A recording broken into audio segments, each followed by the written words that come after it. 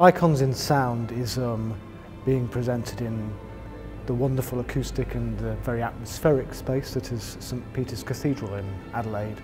And we're delighted that this year um, the Australian conductor Benjamin Northey is leading the Adelaide Symphony Orchestra in um, a beautiful programme of music by James MacMillan, Scottish composer, um, Brett Dean, the great Australian composer, and the Estonian Arvo Pärt. A very um, exuberant piece, um, full of full of life and quite wild. It's called Exultet, which is actually, um, I think, means rejoice and is actually um, probably linked into um, some ways to the, the um, Easter Vigil.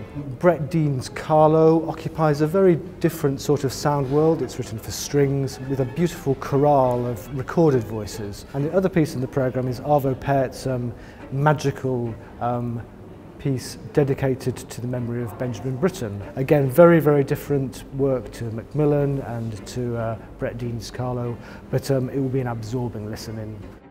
Adelaide Town Hall is the, the wonderful space, wonderful acoustic for um, uh, the Adelaide Symphony Orchestra's first Masters um, subscription concert of 2013.